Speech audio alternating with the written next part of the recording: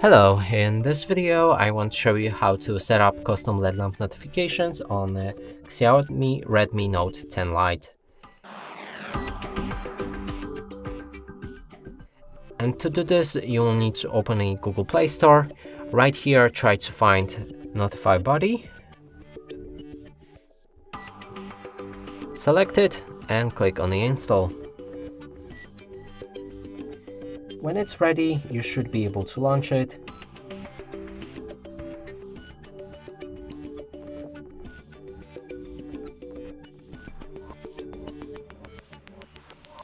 Move to the next step and grant read permissions for the app.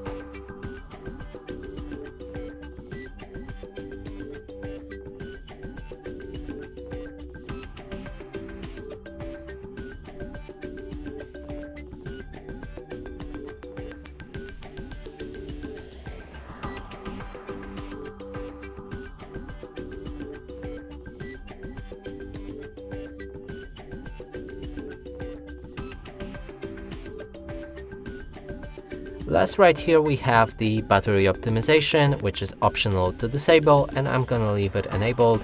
In case you have any problems with this app, you can go back and disable it. Now let's proceed. From here, the app should be ready. We can find four tabs, User, System, Active and Settings. In User, you can pick any apps to allow for custom LED lamp notifications. In System, you can find all apps that are bound to your system. In Active, there's all apps that you've just activated, and in the settings, you can change anything about your LED lamp. Sorry, like a size, shape, or placement on the screen, even the colors. Now let's close this ad and click on the test button. Right here you can find your LED lamp. And that's it for this video, hope you like it, please consider subscribing to our channel, leave like and a comment below.